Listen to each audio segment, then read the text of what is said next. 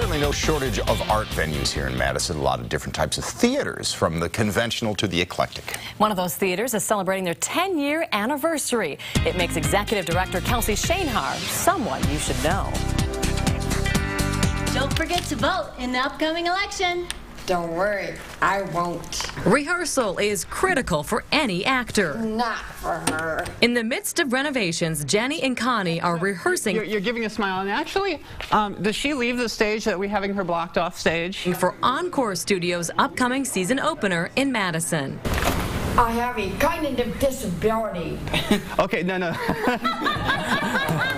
Encore is the only professional theater company for people with disabilities in the state of Wisconsin and one of the very few in the country. So you can have a laugh there if you want. Executive and artistic director Kelsy Schoenhaar started Encore 10 years ago this month. The repertoire that is out there for uh, where it deals with people with disabilities, when they actually have people performing in those roles, rarely do those people actually have a disability. You told me you didn't. Much better. Encore opens its 11th season with Axe to Grind 3. It's a collection of original stories written by Kelsy and Encore's program director. We have a woman who's blind, autistic, has perfect pitch, can memorize a script in the morning.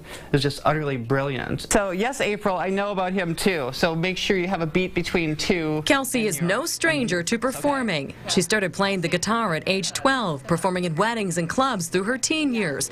Before Encore, Kelsy produced children's theater.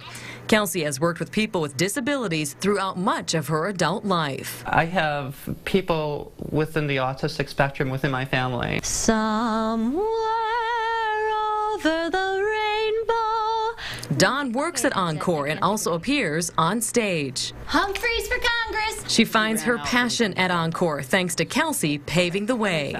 I would actually be more close to the door. If we're having trouble on something, she'll help us. Kelsy says actors at Encore aren't really that much different than ones at a conventional theater, but they do whatever is necessary to help the actors learn their lines. The scripts would be a normal printed script, sometimes large print, sometimes braille. Uh, making CDs, putting a putting it on an MP3 player so people can listen to it. Kelsy has seen the actors grow, both with their acting and their social skills.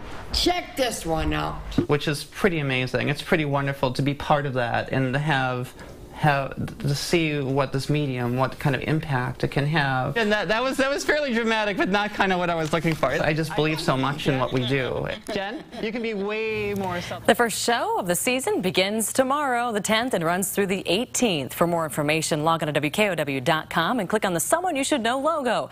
That's also the place to go if you'd like to nominate someone we should know.